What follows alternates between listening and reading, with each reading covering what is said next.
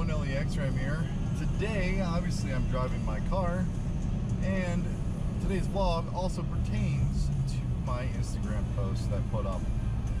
So, about two weeks ago, my car decided to pop an engine code, or a fault code, if you will, P062 Alpha, which said something about fuel system A, fuel pump A, something along those lines. It was fuel system related. And at the time, I had 35,960 some miles on it. And I believe my warranty ran out of 36,000 miles even in three years. And I was coming up on three years. So, needless to say, I rode, drove it back home and parked it and rode the bike that day. So I take it into the dealership. I had 11 days and 27 miles left of my warranty. So, those of you that have a new car, really pay attention to when your warranty comes up. Sometimes you get lucky, like I did, and something will happen and it'll actually be covered under warranty. So that aside, I bring it into the dealership, they take it, and a couple hours later I get called, this is on Friday, I get a call and say, hey, we figured out what it is, it's a fuel rail pressure sensor that's gone bad. You need to replace the fuel rails because you can't just change the sensor, you gotta replace the whole fuel rail, at least that's what Chrysler told them instead of being first thing on Saturday morning. Awesome. Take a couple hours, shove the car back, some sometime mid-afternoon, early afternoon. At least that's what I was expecting. So come Saturday afternoon, it's about three o'clock. I haven't heard anything from these guys. Normally, I've been a technician. I've worked in dealerships. I understand how it goes. I understand how busy things get. And I do understand service advisors are usually bombarded with people on a constant basis. So I took it upon myself to give, a, give them a call to kind of get an update. Three o'clock, there you go. Let me leave a message with the service manager because your service advisor isn't here today. All right. So 3.30 rolls around, still nothing. I get lunch, I go, you know what? I'm gonna stop by. At four o'clock, they close at five.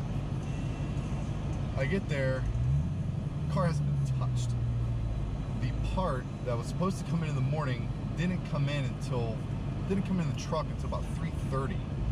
Still haven't gotten it off of the truck.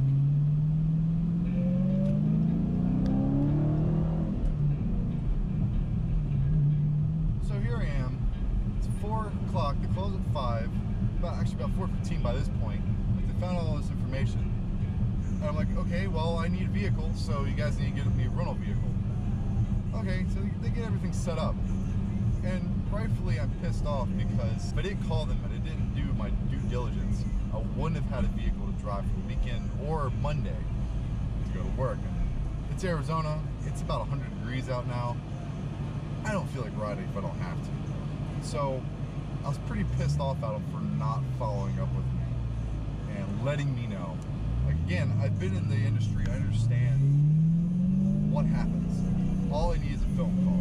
And that's what I kind of conveyed to the service advisor, who this particular lady had nothing to do with the lack of communication. She was not part of my vehicle. She had nothing to do with this screw up. It was 100% from that service advisor to the service manager. The service manager should have been on top of things, and unfortunately, with this particular dealership, they've all been garbage.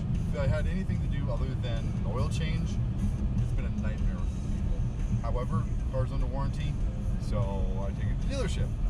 It sucks. So to continue on, I get it back Monday afternoon. I drive it to work. It sits for eight hours, nine hours. I go start it. It's a little hesitant to start up. What the hell? Fires up. I go drive home. Same thing the next night.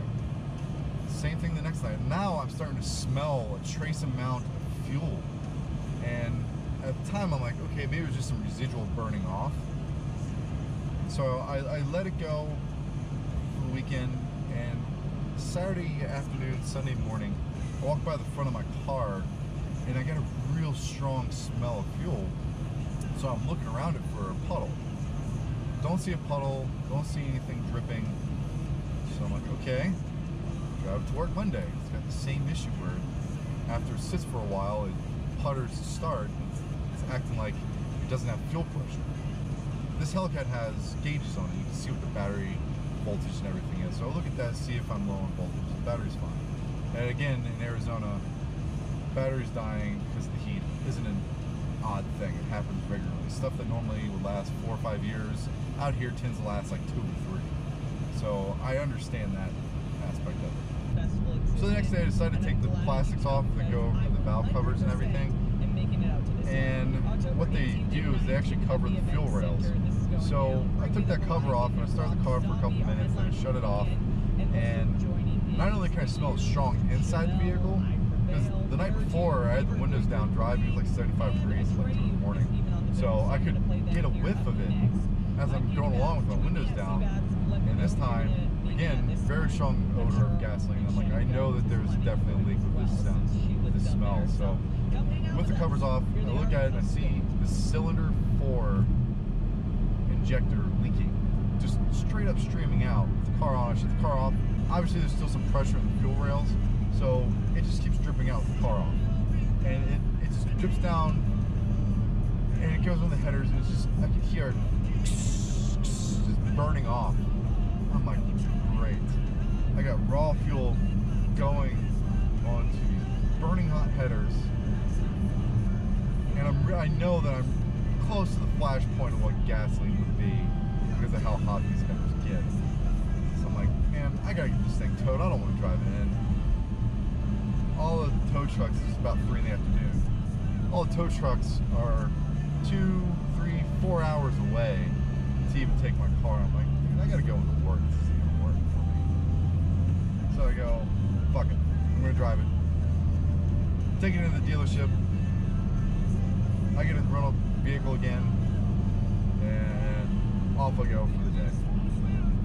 Next morning, about 10 o'clock in the morning, I get a call, and as I suspected, the O-rings I took a picture of were damaged when they were getting put on, the new fuel rails getting put on. There's a technician error that caused a very possible fire that could have started in my car had it been, had one let it go, or two, the damage to the O-ring got worse, which over time, because it looked like it would have rubbed, it could have been a massive fuel leak onto burning hot headers that could have caught my car on fire while driving. Usually what happens is it catches on fire once you pull to a stoplight you're sitting.